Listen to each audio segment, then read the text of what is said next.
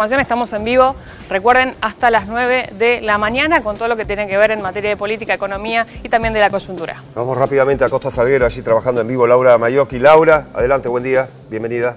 Fíjate Pablo, fíjate Alejandra, eh, a mis espaldas este eh, gran centro de aislamiento que va a inaugurar en minutos nada más el jefe de la ciudad, el jefe de gobierno porteño, también con el ministro de salud del área eh, sanitaria también de la ciudad. Impresionante, muy grande, son dos pabellones, estamos aquí sobre, podríamos decir, Rafael Obligado y la calle Salguero, en este lugar que es un centro de aislamiento para casos leves que vengan de los paradores de toda la ciudad. Impresionante lo que ustedes pueden ver, las preguntas que me pueden hacer son todas, porque claro, eh, tenemos que ver cómo va a funcionar esto, ¿no es cierto, Pablo? Hay cinco sectores, eh, Ale, te comento también, entre ellos tres para hombres y dos para mujeres, pero claro, eh, tiene que ver entonces con una capacidad de camas, de internación, de pasar aquí los casos leves, el momento que tenga que ver con la cuarentena personal, es decir, los más de 14 días, para 798 personas. Impresionante la capacidad que hay aquí en Costa Salguero, dispuesto todo para ya, a partir de hoy mismo, cuando el jefe de la ciudad, el jefe de gobierno porteño, se retire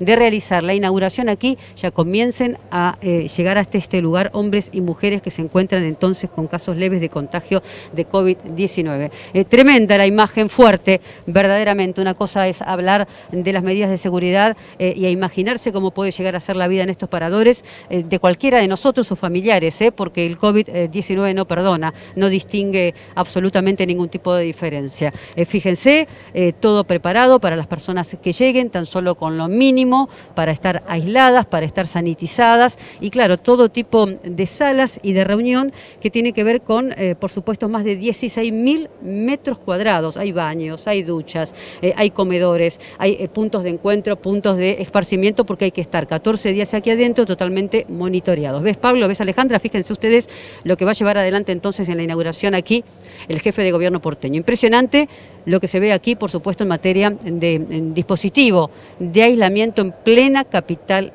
federal.